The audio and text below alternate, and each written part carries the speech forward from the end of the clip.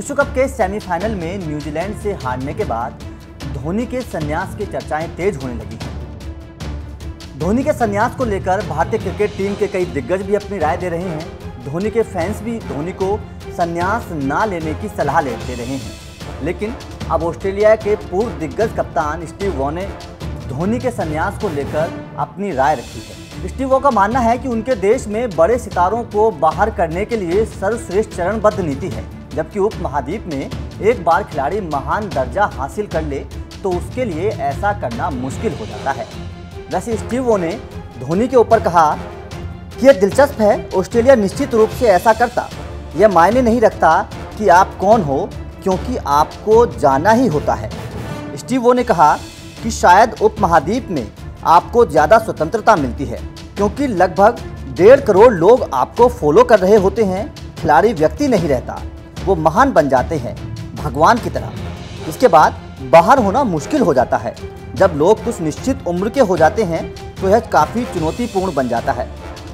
महेंद्र सिंह धोनी का आप ज़िक्र कर रहे हो, वह अब महान खिलाड़ी हैं। जी बिल्कुल, महेंद्र सिंह धोनी भारतीय क्रिकेट टीम के एक महान खिलाड़ी हैं और जिस तरह से महेंद्र सिंह धोनी के संन्यास लेने की चर्चाएँ चल रही हैं, अगर धोनी संन्यास ले लेते हैं तो ये भारतीय क्रिकेट टीम के लिए बड़ा झटका होगा।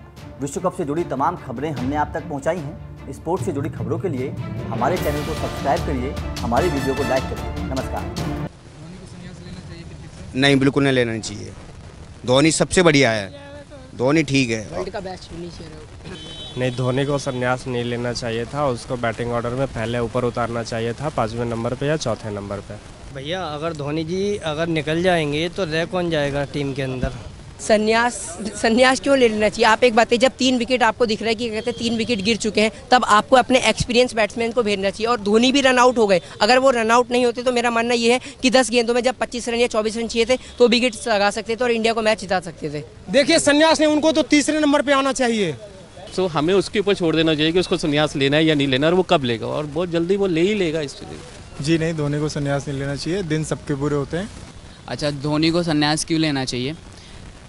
धोनी धोनी के वजह से ही तुम कहाँ वहाँ तक पहुँचे थे। जिस हिसाब से विकेटें गिर चुकी थी, जिस हिसाब से लोग स्टार्टिंग में खेले हुए थे। तो धोनी और जडेजा ने अगर नहीं खेला होता तो अब पता है कि कितने रन से या कितने गैप से हारते थे। और मेरे हिसाब से धोनी को रिटायरमेंट नहीं लेना चाहिए अभी। धोनी को रिटायरमेंट अभी नहीं लेना चाहिए, मेरे ख्याल से। मतलब अगला वर्ल्ड कप नहीं भी खेले तो अभी कुछ टाइम खेल सकता है धोनी। क्योंकि कोहली एज अ कैप्टन उतना मैच्योर मेरे को नहीं लगता है। धोनी ने अपना काम किया इस मैच की वजह से तो संन्यास नहीं लेना चाहिए उसे।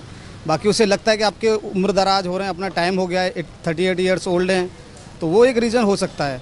मुझे लगता है कि धोनी तो एक कीपर हैं, वो अपने सात नंबर छः नंबर पर खेलते हैं, ठीक है। चार नंबर का बल्लेबाज जब तक फिट नहीं बैठेगा टीम अभी ऐसे ही परफॉर्म करेगी। ये तो बहुत जनता को खुशी थी कि आगे हम हम ही जीत रहे भारत ही जीत रहा है भारत रहा तो इतना उम्मीद ही नहीं था। जिस हिसाब से हमें तो सोचते हैं ये पड़ोसी की नज़र लगी है पाकिस्तान वालों के ये खुद ही तो बाहर हो गए ये तो दुआ मांगते हैं हाय अल्लाह हाय अल्लाह ये भी बाहर हो जाए। हम तो इसके पाकिस्तान को ही बोल रहे हैं ये इनको बदुआ लगी इनकी। भैया अगर धोनी जी अगर निकल जाएँगे तो रह कौन जाएगा टीम के अंदर? कोहली जी को मानोगे? ये कोहली को मानोगे, अगर कोहली को भेजना होता तो चार आउट होने के बाद में धोनी को भेजना चाहिए था।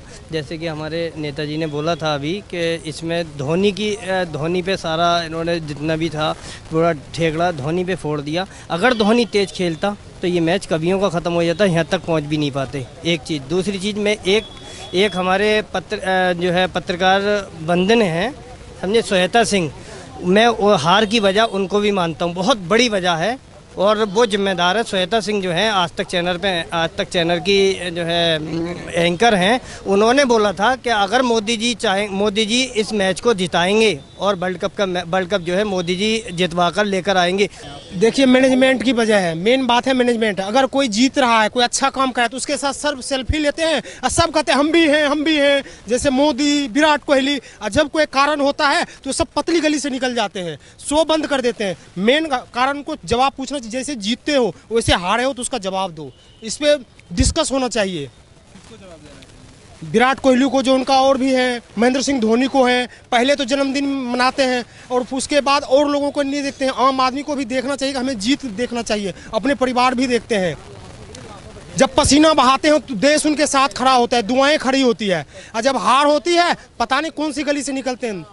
देखिए टीम मैनेजमेंट में भी कहीं ना कहीं गड़बड़ी थी, कुछ ना कुछ गलत फहमियाँ थी, क्योंकि मोहम्मद शामी को नहीं लेके आया गया।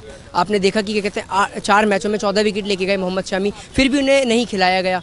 अगर शायद मेरा मानना यह है कि और कम स्कोर पर रोका जा सकता था न्यूजीलैंड को, और दूसरी बात, दूसरी ओर लोग कह रहे हैं कि महेंद्र सिंह धोनी तेज हिट क्यों नहीं लगाए, बड़े हिट्स क्यों नहीं लगाए?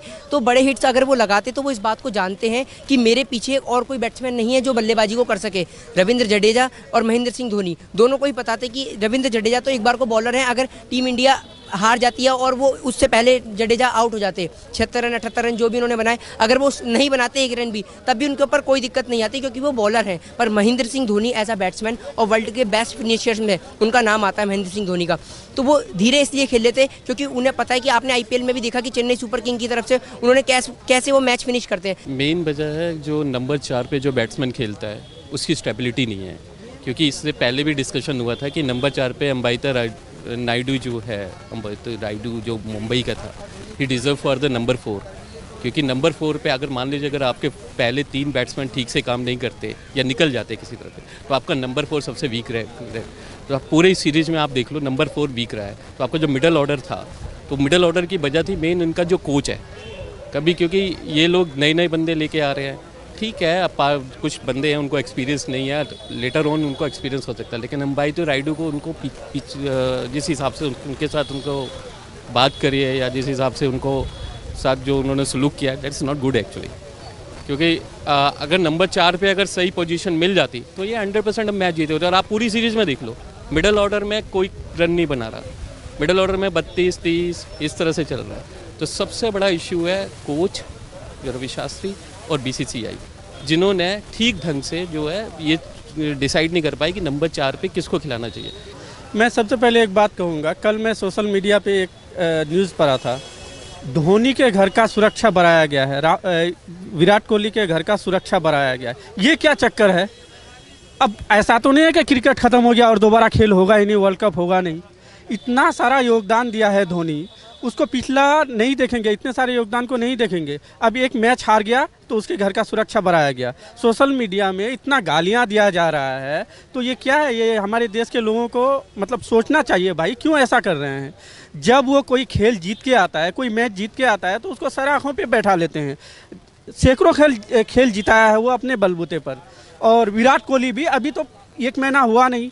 वर्ल्ड कप से पहले एक इतना भयंकर जीत दिलाया था, लेकिन वो नहीं देखेगा। अब एक खेल किसी कारण हार गया तो गालियाँ पड़ेगा उसको, उसके घर का ये सुरक्षा बढ़ाया जाएगा, उनके जान को भी खतरा होगा।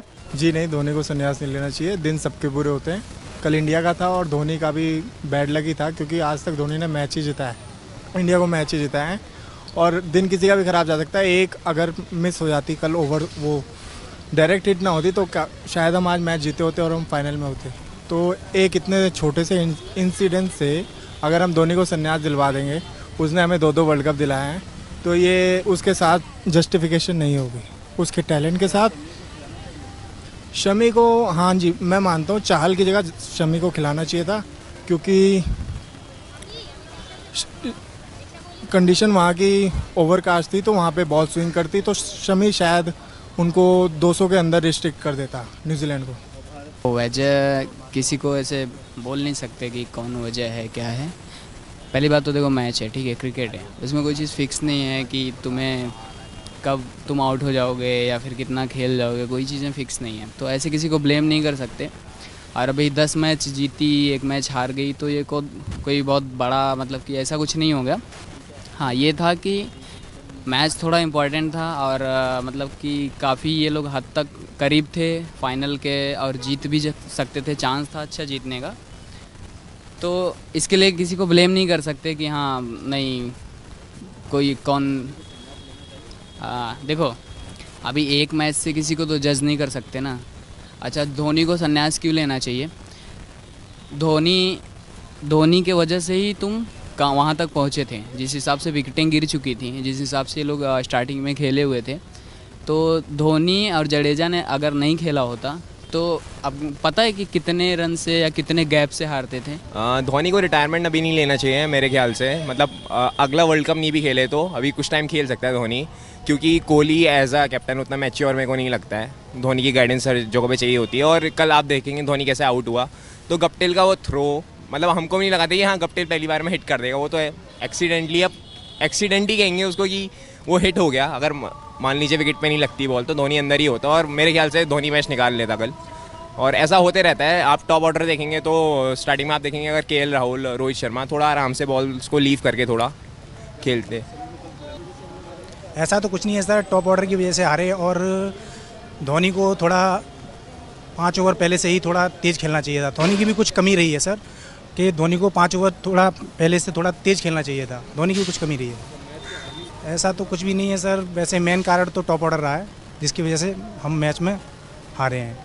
फिर भी हम मैच पास आकर और कुछ थोड़ी धोनी की भी कमी रही है, जिसकी वजह से हम थोड़ा मैच के करीब आकर भी और हम हार गए, जो कि धोनी को पाँच ओवर पहले से हम मैच में आ चुके थे।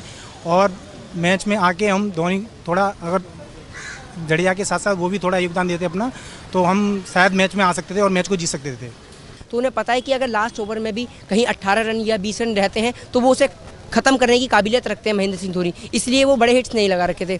और दूसरी बात आपने देखा कोहली को, विराट कोहली को डेफिनेटली क्योंकि आपने उनका देखा कि उनमें एटीट्यूड बहुत है।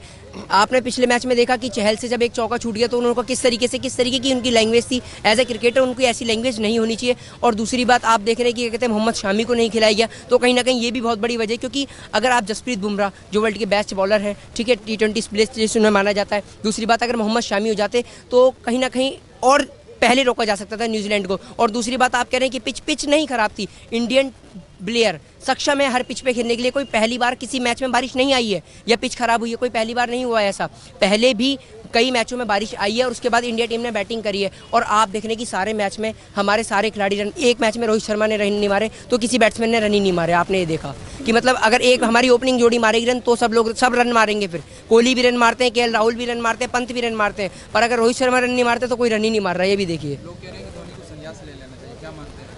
संन्यास संन्यास क्यों ले लेना चाहिए? आप एक बात है, जब तीन विकेट आपको दिख रहा है कि कहते हैं तीन विकेट गिर चुके हैं, तब आपको अपने एक्सपीरियंस बैट्समैन को भेजना चाहिए और धोनी भी रन आउट हो गए। अगर वो रन आउट नहीं होते तो मेरा मानना ये है कि दस गेंदों में जब पच्चीस रन या चौबीस रन चाहिए थे तो विकेट लगा सकते थे और इंडिया को मैच जिता सकते थे।